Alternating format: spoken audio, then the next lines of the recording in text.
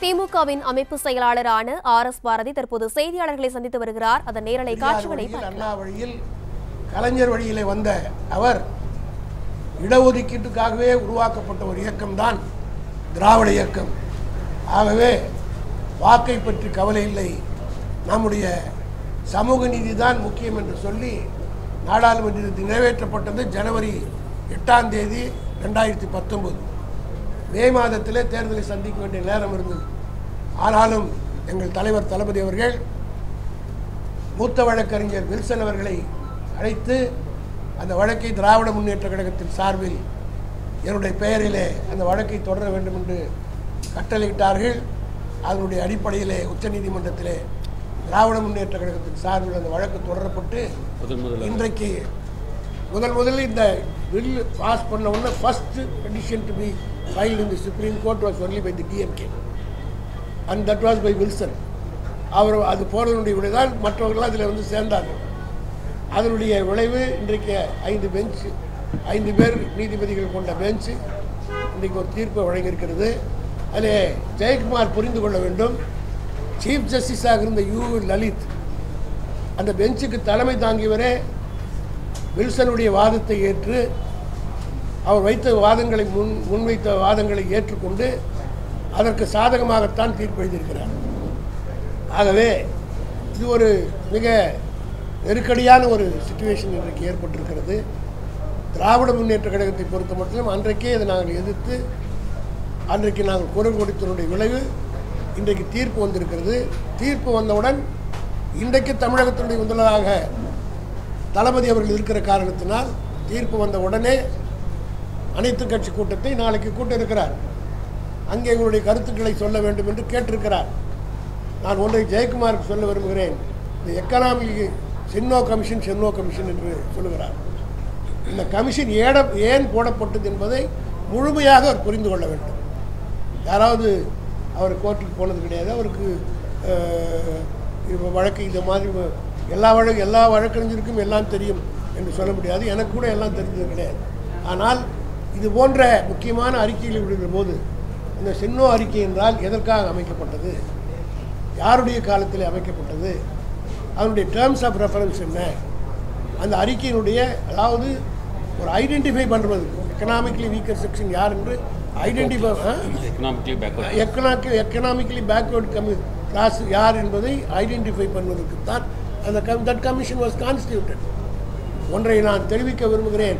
மத்திய சர்க்காரிலே நாங்கள் கூட்டணியில் இருந்து காங்கிரஸ்காரர்கள் நிறைவேற்றியிருந்தார்கள் நாங்கள் தடுத்து பல பல விஷயங்களை தடுத்திருக்கிறோம். உதாரணத்துக்கு நீட் கொண்டு வரப்பட்ட நேரத்தில் தமிழகத்தினுடைய முதலமைச்சராக இருந்த அன்றைக்கு இருந்த கலைஞர் அவர்கள் அதை உச்சநீதிமன்றம் வரை சென்று அவர் ஆட்சியில் இருக்கிறவரை நீட் தமிழ்நாட்டிலே வராமல் பார்த்து கொண்டார். அது எங்கள் கூட்டணியில் இருந்தவர் போட்ட ஒரு சட் கொண்டு வரப்பட்ட சட்டம்தான். கூட்டணி என்பது வேறு கொள்கை என்பது வேறு என்பதை பலமுறை நாங்கள் சொல்லிவிட்டோம். இன்னும் வெளிப்படையாக அவருக்கு சொல்லணும்னா ஆயிரத்தி தொள்ளாயிரத்தி ஐம்பதிலே முதல் முதலில் இந்த இடஒதுக்கீடுக்கு ஒரு சிக்கல் ஏற்பட்ட போது சண்பகம் துர்ராஜ் என்கிற ஒரு அம்மையார் சென்னை உயர்நீதிமன்றத்திலே கம்யூனல் ஜிஓவை சேலஞ்ச் பண்ண நேரத்தில் அரசியல் சட்டம் உருவாக்கப்பட்டவுடன் முதல் முதலில் வந்த தீர்ப்பு அந்த கம்யூனல் ஜிஓவை ஸ்ட்ரக் டவுன் பண்ணி வந்த அந்த தீர்ம அந்த அடிப்படையில் சென்னை உயர்நீதிமன்றம் உச்சநீதிமன்றமும் இடஒதுக்கீடு கூடாது என்று சொன்னது. அன்றைக்கு பெரியாரும் அண்ணாவும் இரட்டைக்குழல் துப்பாக்கியாக இருந்து அதை எதிர்த்தார்கள் அந்த நேரத்தில் தமிழ்நாட்டுடைய காங்கிரஸ் தலைவராக இருந்தவர் பெருந்தலைவர் காமராஜர்.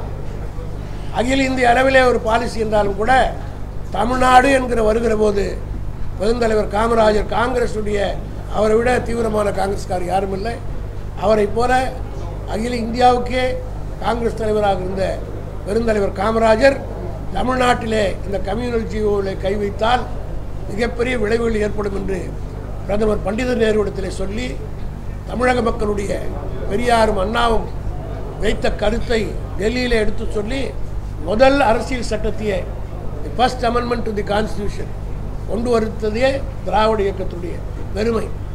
ஆக இந்த பொருளாதார அடிப்படையில் ஒதுக்கீடு என்பது பல முறை பல பேர் ஏன் எம்ஜிஆரே ஒன்பதாயிரம் ரூபாய் சீலி அந்த வருமானத்துக்கு உட்பட்டவர்களுக்கு கொண்டு வந்த நேரத்திலே தமிழ்நாட்டிலே மிகப்பெரிய கிளர்ச்சி ஏற்பட்டது. திராவிட முன்னேற்ற கழகத்தின் தலைவர் கலைஞர் அவர்கள் அதை எதிர்த்தார்கள். அதற்கு பிறகு நடைபெற்ற எண்பது தேர்தலிலே எம்ஜிஆர் தோற்றுவிட்டவுடன் ஆகவே தமிழ்நாட்டிலே கம்யூன த- த- இடஒதுக்கீடு பிரச்சனையில் ஜாக்கிரதையாக நடந்து கொள்ள வேண்டும் என்பது அவரே போட்ட சட்டத்தை அவரே வாபஸ் வாங்கிட்டார். இதெல்லாம் பழைய வரலாறு. அதே போல தான் இன்றைக்கு மத்திய சர்க்கார் இந்த பத்து பர்சன்ட் ரிசர்வேஷனை கொண்டு வருப்பதால் ஏற்படக்கூடிய விளைவுகள் என்ன என்பதை மிக தெளிவாக உச்சநீதிமன்றத்திலே எங்கள் சார்பில் வாதாடிய வில்சன் எடுத்து வைத்திருக்கிறார். சரியாக வாதி வாதாடவில்லை என்று ஜெயக்குமார் சொல்கிறார். யாரை பார்த்து சொல்வது?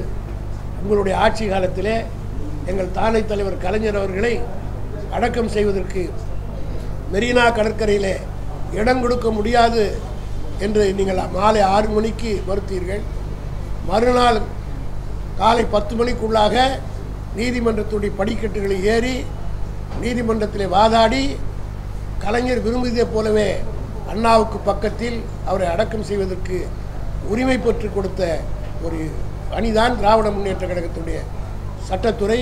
அதிலே அந்த வழக்கில் வாதாடியவர் தான் வில்சன். எந்த வழக்கில் வாதாடி இருபத்தி நாலு மணி நேரத்தில் தலைவருக்கு இடத்தை வாங்கி கொடுத்த அதே வில்சன் தான். இதிலே போராடினார். அதே போல் இந்தியா பூராவில் இன்றைக்கு ஓபிசிக்கு டுவெண்ட்டி செவன் பர்சன்ட் எந்த கட்சி வாங்கி கொடுத்தது? திராவிட முன்னேற்ற கழகத்தின் சார்பில் இதே வில்சன் உச்சநீதிமன்றத்திலே வாதாடி தான் காஷ்மீரத்தில் இருந்து கன்னியாகுமரி வரை இருக்கிற அனைத்து மெடிக்கல் காலேஜில் நாலாயிரம் சீட்டுகள் ஓபிசிக்கு ஒதுக்கப்பட்டிருக்கிறது என்றால் அது திராவிட முன்னேற்ற கழகத்தினுடைய வழக்கு. அது திமுகவுடைய மூத்த வழக்கறிஞர் வில்சன் அவர்கள் வாதாடி பெற்றது என்பது இப்படி பல பெருமைகள் இருக்கிறது. ஆக குறை சொல்வதை விட்டுவிட்டு எங்கள் பின்னால் நின்று இந்த வழக்குக்கு அதிமுக நின்றால் தமிழ்நாட்டு மக்கள் அவர்களை ஓரளவுக்கு கடந்த காலத்தில் செய்த பாவங்களை எல்லாம் மன்னிப்பார்கள்.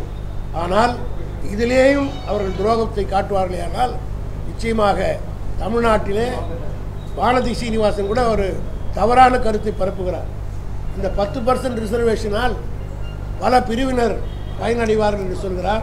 நான் சவால் விட்டு கேட்கிறேன் இந்த டென் பர்சன்ட் ரிசர்வேஷனால் யார் எந்த கம்யூனிட்டி மேக்சிமம் பெனிஃபிட் அடைந்தது என்பதை புள்ளிவிவரத்தோடு ஸ்டாட்டிஸ்டிக்கல் இன்ஃபர்மேஷனோடு பிஜேபி வெளியிடுவதற்கு தயாரா? நாங்கள் டய இந்த ரைட் டு இன்ஃபர்மேஷன் ஆக்டில் போட்டு வாங்கி கேட்டிருக்கிறோம். அதில் எங்களுக்கு தகவல் கிடைத்திருக்கு. ரெண்டாம் முறையும் கேட்டிருக்கிறோம். அதில் எடுத்து பார்த்தால் இவர் குறிப்பிட்டிருக்கிற மற்ற எந்த ஜாதியினரும் அதில் கவர் ஆகவில்லை. குறிப்பிட்ட ஒரு சமுதாயத்தை சார்ந்தவர் மட்டும்தான் அந்த முழு பெனிஃபிட்டையும் அனுபவித்திருக்கிறார் என்று சான்றுகள் எல்லாம் இருக்கிறது. ஆகவே தான் இதை போரா அது எப்படி முடிவெடுக்க வேண்டும் என்பதற்கு நாளை தினம் தளபதி அவர்கள் அனைத்து கட்சி கூட்டத்தை கூட்டியிருக்கிறார். ஆக அந்த கூ- கூட்டத்தினுடைய முடிவை எடுத்து அவர்கள் என்ன சொல்கிறார் அதை கேட்டு அரசாங்கம் முடிவெடுக்கும். திராவிட முன்னேற்ற கழகத்தின் சார்பில் எங்கள் பொதுச் செயலாளர் துரைமுருகன் அறிவித்து விட்டார்.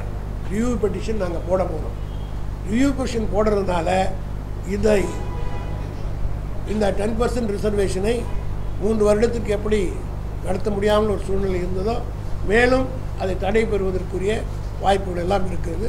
இதற்கு மேல் நாங்கள் எடுக்கிற நடவடிக்கையை எப்படியெல்லாம் திராவிட முன்னேற்ற கழகம் கடந்த காலத்தில் பல வழக்குகளை வெற்றி பெற்றிருக்கிறதோ அதே போல இதிலும் வெற்றி பெறும் என்பதை நாங்கள் முழு நம்பிக்கையோடு இருக்கிறோம். அனைத்து கட்சி கூட்டம் அனைத்து ஜாதி சங்கங்களையும் கூப்பிட்டு எதுவும் பேசுறதுக்கு வாய்ப்பு இருக்குதா ஜாதியை கூப்பிடுறது கிடையாது. அதுவும் சட்டமன்ற கட்சி தான். இல்லை அனைத்து கட்சின்னா எல்லா கட்சியும் இல்லை. சட்டமன்றத்தில் இருக்கக்கூடிய கட்சிகள் தலைவர் தான் கூப்பிட்டுருக்குறாங்க நீங்கள் நாங்கள் வந்து ஆட்சி க- தளபதி ஆட்சிக்கு வந்து ஏறத்தாழ ஒன்றரை வருஷம் கூட ஆகலை. இதுவரையில் எந்த முக்கிய பிரச்சனையாக இருந்தாலும் உடனடியாக அனைத்து கட்சி கொடுத்து கேட்டு அவங்களுடைய முடிவுகள் ஏற்று அண்ணா அவர்கள் அடிக்கடி சொல்லுவார் டிசிஷன் பை டிஸ்கஷன் எதுவாக இருந்தாலும் டிஸ்கஸ் பண்ணி ஒரு முடிவு எடுக்கணும். அதில் அண்ணாவின் வழியிலே வந்த கலைஞர் கலைஞருடைய வழியிலே வந்த எங்கள் தளபதி அவர்கள் இன்று வரை சிறப்பாக செய்து கொண்டிருக்கார். சட்ட வல்லுநர்கள் பாராட்டுகிறார்கள். அதாவது பிற்போக்கு பிற்படுத்தப்பட்ட சமுதாயத்தினுடைய தலைவர் ஏன்? மதிப்பிற்குரிய ஐயா ராமதாஸ் டாக்டர் ஐயா அவர்கள் கூட வாழ்த்து தெரிவித்து பாராட்டக்கூடிய அளவுக்கு நடவடிக்கைகள் போய்கொண்டிருக்கிறது ஆக சமூக நீதியை காப்பாற்றுகிற ஒரே தலைவராக இன்றைக்கு இருக்கக்கூடிய தளபதி மு க ஸ்டாலினுக்கு அதே எண்ணத்தில் உள்ள அத்தனை தலைவர்களும் அவரை விட வயதிலே மூத்த ஆசிரியர் வீரமணியாக இருந்தாலும் சரி ஐயா டாக்டர் ராம்தாஸாக இருந்தாலும் இன்றைக்கு ஆதரவு தெரிவிக்கிறார்கள். இது ஒரு நல்ல திருப்பம். எப்படி ஆயிரத்தி தொள்ளாயிரத்தி ஐம்பதிலே பெரியாரும் அண்ணாவும் காமராஜரும் வாதாடி அந்த சமூக நீதி நிலைநாட்டினாரோ அதே போல நிலைநாட்டுவதற்குரிய நிலைமை இப்போது உருவாகி இருக்கிறது கூட்டணியில் வந்து உங்க கூட அதிமுக வந்து அஹ், இணைந்து செயல்பட வேண்டும் இந்த விவகாரத்தில் சொல்லியிருக்கீங்க உங்க கூட்டணியில் இருக்கிற சிபிஎம்மா இருக்கட்டும் மார்க்சிஸ்ட் கம்யூனிஸ்டா இருக்கட்டும் காங்கிரஸாக இருக்கட்டும் இதுக்கு வந்து ஆதரவு நாளைக்கு அவங்களும் இணைந்து அவருடைய கருத்தையும் பதிவு செய்து கொண்டு மெஜாரிட்டி ப்ரிவேல்ஸ் நான் உண்மை. அதாவது நீங்கள் ஒரு தவறான அதாவது காங்கிரஸ் இல்லை இல்லை. காங்கிரஸுக்கும் எங்களுக்கும் இருங்க. காங்கிரஸுக்கும் எங்களுக்கு வந்து தேர்தல் ஒரு கொள்கையில் நம்ம ஒத்துக்க முடியாது. காங்கிரஸ் பீரியடில் கொண்டு வந்து தான் நீட்டு. நான் அதே சொல்லிட்டேன். அதே நாங்கள் எடுத்து நிறுத்தினோம் கூட்டணியில் இருந்தோம் இல்லைன்னு சொல்லலை. அதே நேரத்தில் ரெண்டாயிரத்தி பத்தொம்போது வரைக்கும் ஸ்டே ஆச்சுன்னு சொன்னால் என்ன காரணம்? திமுக அங்கே கூட்டணியில் இருந்த காரணத்தில் தான் தடுத்து நிறுத்தணும்.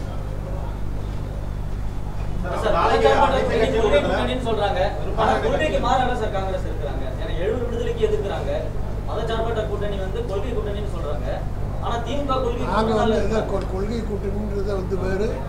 கூட்டணி என்பது வேறு கொள்கை வேறு என்பது எங்கள் தலைவர் கலைஞர் சொல்லியிருக்கார் தளபதி சொல்லியிருக்கார். நானும் அப்ப நாளைக்கு ஒரு ஆறு பேர் ராஜீவ் காந்தி கொலை வழக்குல ஆறு பேர் விடுதலை வந்து இன்னைக்கு உச்சநீதிமன்றம் சொல்லியிருக்கு.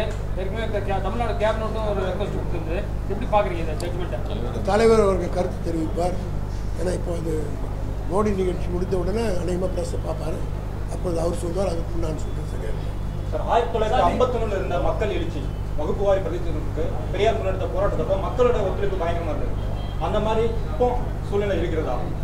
பிசிக திமுக மட்டும்தான் போராட்டத்தை நிற்கிற மாதிரி அதாவது அன்னைக்கு வந்து கரடுமுரடான பாடுது அன்னைக்கு ஒரு காலேஜுக்கு போனால் ரெட்டை பானை இருந்தது.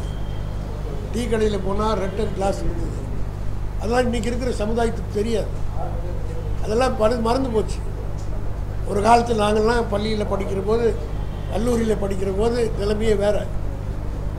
இன்றைக்கி கல்லூரியில் பார்த்தா ஒரு கிளாஸில் போனீங்களா யார் எந்த ஜாதின்னு பார்க்க முடியாது. ஒரு காலத்தில் க்ளீன் நாங்கள்லாம் படிக்கும்போது ஐடென்டிஃபை ஆகிடும் லா காலேஜில் நாங்கள் படிக்கும்போது அப்படி தான் இருந்தது. சென்னை ஹைகோர்ட்டில் நாங்கள்லாம் வக்கீலாக பதிவு பண்ணி போகும்போது ஹைகோர்ட்லேயும் அப்படி தான் இருந்தது. இன்றைக்கி அதெல்லாம் மாறிட்டு எல்லோரும் சமம்னு வந்ததுனால இன்றைக்கி இருக்கக்கூடிய ஜென்ரேஷனுக்கு அது தெரியல. அது தெரிய வைக்க வேண்டியது தான் எங்களை போன்ற வேண்டிய கடமை அரசியல் விமர்சகர் சவுக்கு சங்கர் வந்து கைது செய்யப்பட்டு இன்னைக்கு தண்டனை வந்து இடைக்கால தடை வாங்கியிருக்காரு. அவர் மேல மேலும் நாலு வழக்கு வந்து தமிழக அரசு சார்பா பதிவு செய்யப்பட்டுள்ளது. அது அரசு தான் கேள்வி.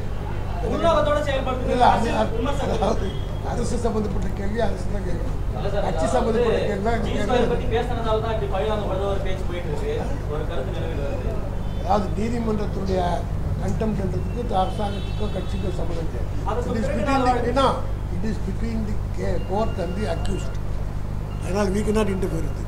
Am I right? Correct. Thank you, sir.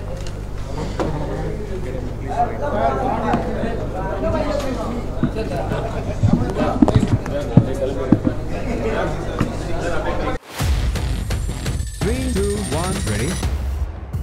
Breaking fire.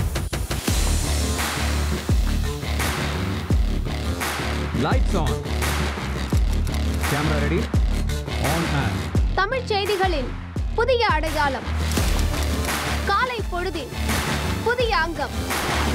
செய்தி வழங்குவதில் உலகத் தரம். இணைந்திருங்கள். காலை ஆறு மணியிலிருந்து உங்கள் நியூஸ் தமிழோடு.